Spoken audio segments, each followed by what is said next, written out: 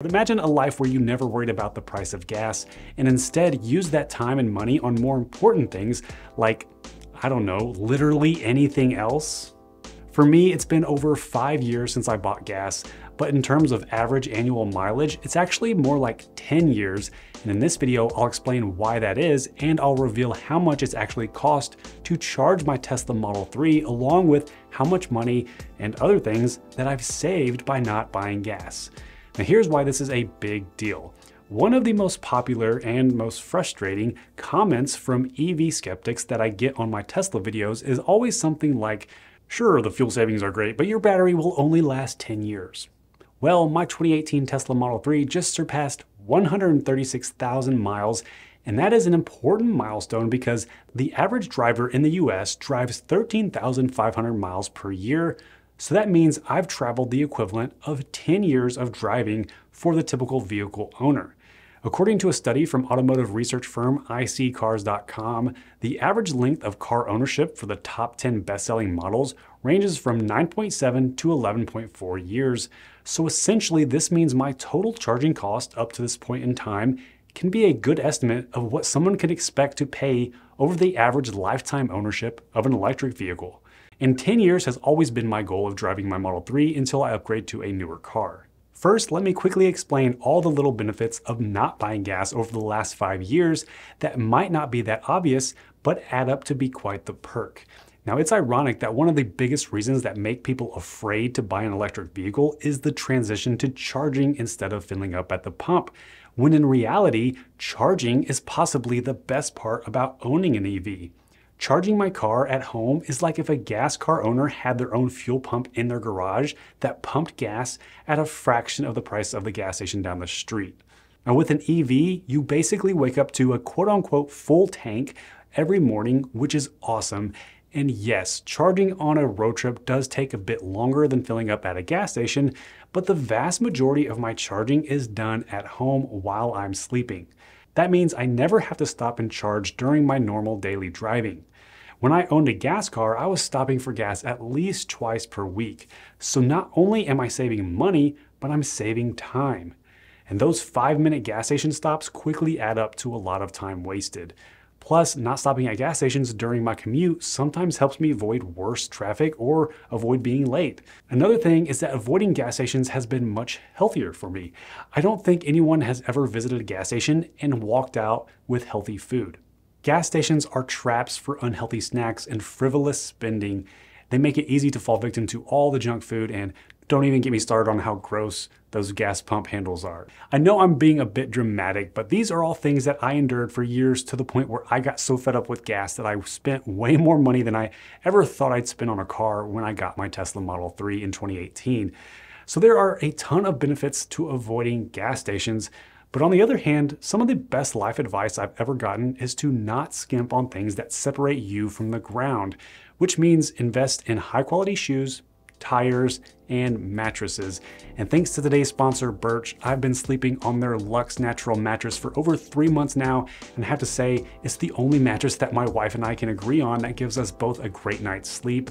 Before getting the Birch, we had an all foam mattress that used to leave my wife waking up with horrible back pain, but with the Birch mattress, we both wake up feeling great every morning. It's not only comfortable, but breathable. And most importantly, Birch makes all their mattresses with organic and natural materials that are sustainably sourced. Knowing that we spend one third of our lives on a mattress, we feel much better knowing that this mattress is environmentally friendly and free from polyurethane foams and fiberglass, which can be harmful to your health. Birch Natural Mattress was also just awarded the best mattress of 2023 by US News out of over 340 mattresses and hours of in-person expert testing. And for little ones, they have the Birch Kids Natural Mattress, which is a 2023 Good Housekeeping Parenting Awards winner. The Luxe mattress that we have consists of eight layers of organic cashmere, organic wool, organic cotton, and 100% natural latex that relieves pressure points. And with a Birch mattress, you get a 100 night sleep trial plus 25 year warranty, and it gets delivered directly to your door for free within the US. We love our Birch mattress and think you will too. Their Black Friday sale is officially running, so it's the perfect time to upgrade your sleep with 25% off a Birch mattress plus two free Eco Rest pillows. Visit birchliving.com slash Andy Slye to find out more about this limited time offer. Now, let's get to my favorite part of drilling down into the numbers to calculate my total cost to travel the equivalent of 10 years of average driving in my Tesla Model 3 and compare it to what it would have cost in a comparable gas car. Now, it may have sounded like all sunshine and rainbows so far in this video when talking about going from a gas car to an electric vehicle, but one of the few downsides of an EV is the additional cost of adding a home charger. However, there are still some big myths about home chargers. Many EV owners can actually get by with just charging their car on a normal outlet if they have access to one, such as in their garage, and if their daily driving is around 50 miles or less. So there's really no need for them to pay for an EV home charger in that case. However, I drive much more than the average driver, so I need to charge my car faster than what a normal outlet provides. So after receiving a 30% tax credit, I ended up paying $940 for an electrician to install an EV charger in my garage, which falls within the average cost of an EV home charger installation. So that's $1,000 right off the bat, but trust me, it gets better from here. To calculate how much the electricity has cost to charge my car, we first must split the charging into two categories, home charging and travel charging. Now, the only time I pay for travel charging is, of course, when I charge at Tesla superchargers when I'm on a road trip. Now, I take maybe one to two trips per year, so I'm going to estimate that 2,000 miles per year are considered travel charging. And when it comes to travel charging, though, a cool benefit of buying a Tesla is that there are many ways to get free supercharging credits, either by referring people to buy Teslas or buying a Tesla with someone's referral code. But even though I've had free supercharging for pretty much the entire ownership of my Tesla so far, I'm going to calculate it as if I had to pay for supercharging. But also keep in mind, many of the hotels and Airbnbs I stay at provide free EV charging. On top of that, the first 300 miles of any road trip is still considered home charging because I leave my house with a full battery. Now this brings my average annual supercharger miles to about 1500 or 7,500 miles over the past five years. Now that means 94% of my charging is home charging and 6% is travel charging. Now my Tesla keeps track of the total amount of electricity that it's consumed, which is currently 34,326 kilowatt hours. But another minor downside of an EV is not all the electricity that comes from the grid makes it into the actual moving of the wheels. Now, this is called wall to wheels efficiency, and according to data from TeslaFi, a Tesla vehicle that charges mostly on a level 2 charger is about 94% efficient. But we also have to account for phantom drain, which is when the car is sitting somewhere unplugged, which my car does about 18 hours out of the day. According to my Tesla Stats app, phantom drain is about 2%.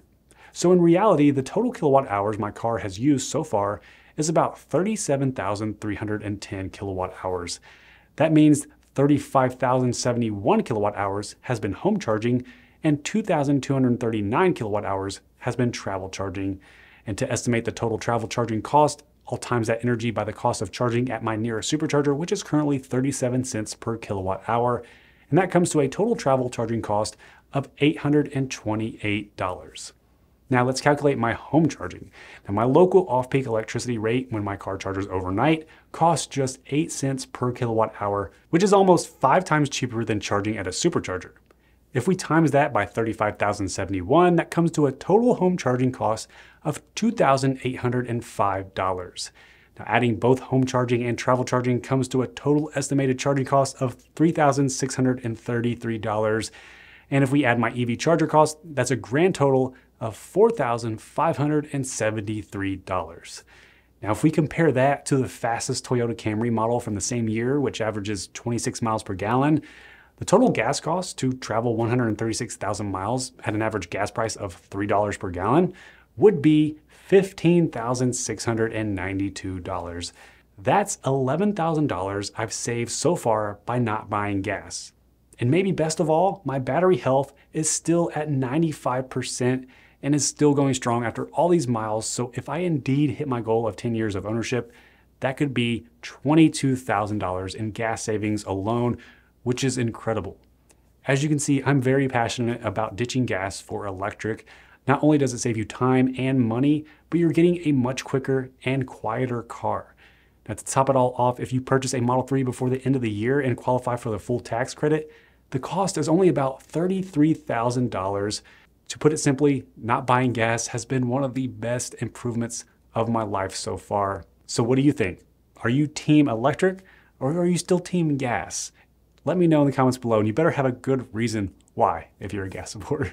Thank you so much for watching. My name is Andy. If you enjoyed this video and you want to see more Tesla and tech videos in the future, make sure you subscribe. Give this video a thumbs up if you enjoyed it.